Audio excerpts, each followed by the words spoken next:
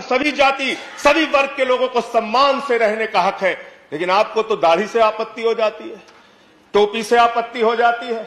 अच्छा हुआ, आप अठारह में नहीं थे, वरना दाढ़ी रखाकर जिन उलेमाओं ने अंग्रेज़ों के खिलाफ लड़ते हुए अपने सर कटवाए, उनके बलिदान को आप शर्मिंदा करते। उनके बलिदान को आप शर्मिंदा करते। आप जानना चाहते हैं मुसलमानों का इतिहास? तो पढ़िए शहीद अशफाकुल्ला को, जब फैजाबाद की जेल में उनको फांसी के फंदे पर ले जाया जा रहा था। उनसे पूछा गया, आपकी कोई अंतिम इच्छा? तो उन्होंने कहा, कुछ आरज़ू नहीं है, बस आरज़ू है इतनी।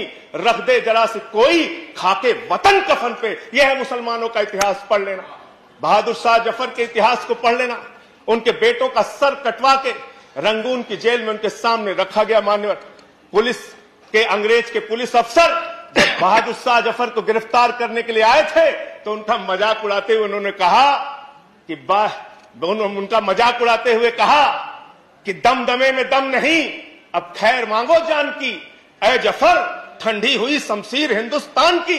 तो उस बहादुर शाह ज़फ़र ने अंग्रेज़ अफसर को जवाब दिया था कि गाजियों में बू रहेगी, जब तलक ईमान की, तख्त लंदन तक चलेगी तेज हिंदुस्तान की। हिंदुस्तान के मुसलमानों के इतिहास को पढ़िए तो उनके प्रति आपके मन में सम्मान उनके प्रति आपके मन में सम्मान पैदा होगा।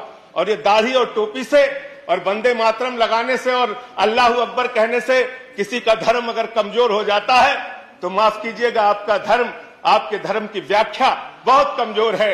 हिंदू धर्म जिसको हम मानते हैं, वो हिंदू धर्म तो कहता है, वसुदेव कुटुंबकम, पूरा विश्व हमारा परिवार है। और हम आप भारत माता की जय लगाते हैं। आप भी ज़ोर से लगाते हैं भारत माता की जय। हम भी ज़ोर से लगाते हैं भारत माता की जय। लेकिन मुझे बताइए, दुनिया में कौन सी ऐसी माँ है जो अपने बच्चों में भेद करती है? दलित बच्चे को अलग निगाह से देखेगी मुसलमान बच्चे को अलग निगाह से देखेगी पिछड़े बच्चे को अलग निगाह से देखेगी सिख बच्चे को अलग निगाह से देखेगी।